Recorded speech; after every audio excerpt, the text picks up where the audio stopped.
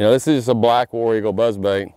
Um, you know, you see a lot of, there's been a lot of changes. You'll see double blades, you'll see frog bodies and all that stuff. All it is is people trying to reinvent the wheel. And all of that stuff they catch fish on. I'm still just old school skirt, single blade. But whenever this thing's out of tune or when you tune, you want your wire like right over your hook. Okay, you don't want it too far open. Uh, I like mine, you know, pretty tight to the wire it just casts a lot easier and moves a lot quicker. You want it straight up and down. It's just a standard trailer hook. I think it's a 3-aught. One of the things that I have always used is earring backs. You can get them on Amazon. You can get like a thousand for $5. And it just holds that, that hook on there real good. It doesn't let it go over that barb. And you don't have a big piece of plastic there.